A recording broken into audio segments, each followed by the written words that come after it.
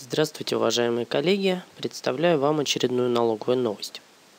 На этот раз новость касается разъяснений Минфина по поводу НДС.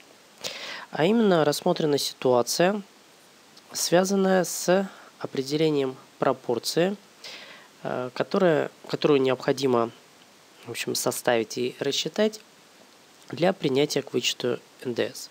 Ну, как вы все знаете, в случае, если налогоплательщик осуществляет операции как связанные с обложением НДС, так и необлагаемый НДС, то в данном случае а, вычеты по товарам, которые одновременно используются и как в деятельности облагаемые, так и необлагаемый НДС, можно принимать не в полном размере, а лишь в пропорции.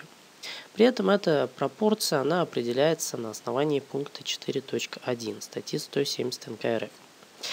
И во многих случаях э, возникает вопрос в том, какие суммы включать э, при расчете соответствующей пропорции, а какие нет. Вот именно данному вопросу и посвящено соответствующее письмо Минфина.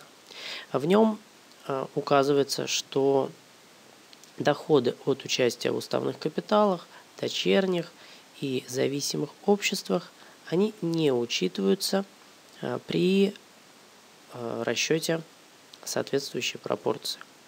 Данное разъяснение важно для применения пункта 4.1 и, безусловно, должно учитываться налогоплательщиками при расчете соответствующей пропорции.